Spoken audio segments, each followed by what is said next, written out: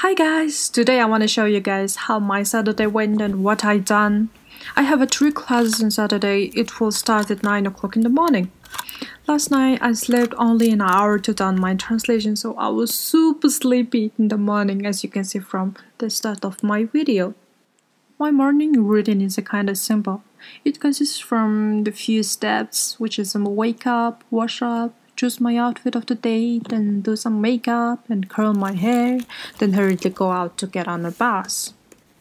I only had 17 minutes to go to my school, so I am in a hurry, but there were no bus as I saw from the bus app. So I took the taxi, that's only choice of mine. Gladly, it's a Saturday, so there were no traffic jam. Everything went so smoothly, so freaking good day for me. I came to my uni for a few minutes early, so I took hot water to drink some instant coffee.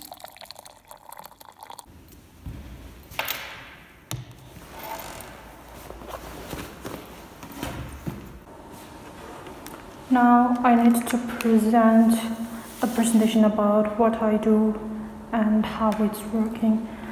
So I'll need to prepare now and also morning coffee preparation. Ah, it's not coffee, it's just yeah, you know, but who cares?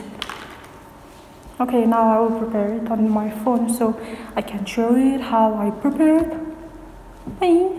As you can see, my classmate was presenting his presentation to the class. After him, it was my turn to present. I think that my presentation went so well.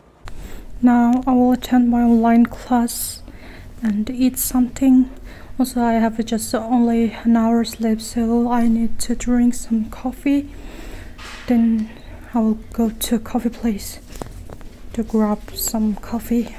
While I was attending my online class I just reward myself with a lunch after my massive lunch, I went to Black Ocean Coffee Bar to drink my iced Americano and read last part of my favorite book which was written by Urban Meyer.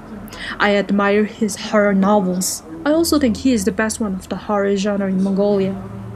I hope that I will take his autograph one day in the future.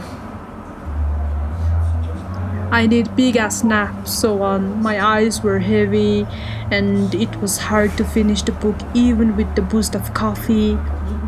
However, I finished the book. When I closed the last page, it felt like I lost something. I felt so effing emptiness in my heart. Read books always gives that kind of feeling, right? After that, I went to home around 6 o'clock, then eat potato broshki, then surf the internet. Okay, it was one of my uni day. I hope you guys enjoy my vlog. Don't forget to subscribe, like, or write a comment down below my vlogs. I hope that we will meet with my another vlogs in the near future. See you soon guys. Bye!